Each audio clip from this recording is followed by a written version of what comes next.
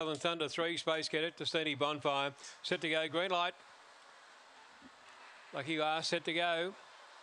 Racing and a little bit slow to begin there at the back was Destiny. Bonfire showing speed to the South Orson Frankie. But settling down, going through Space Cadet on the inside, followed then by Mahogany Queen. Next the outside Destiny. Bonfire followed by Short Juice and then came Riverdale Tommy, followed then by Southern Thunder.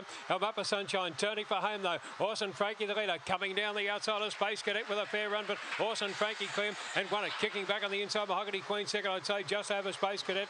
Destiny Bonfire from the tail, followed by Short Juice behind them. Then would have been Riverdale Tommy. Elmapa Sunshine and Southern Thunder on the time. In the last is around 22.87.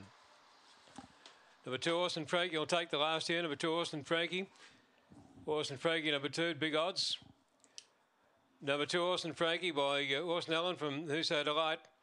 Raced by the pup to the track syndicate and trained by Mark Giddings. Orson Frankie at about $18 super tap. Bid 1840 they should pay. 2857 the numbers on race 12. 2857. 2857. Time for the race there, 22.85. 22.85. Early section was 8.48. Number two, Orson.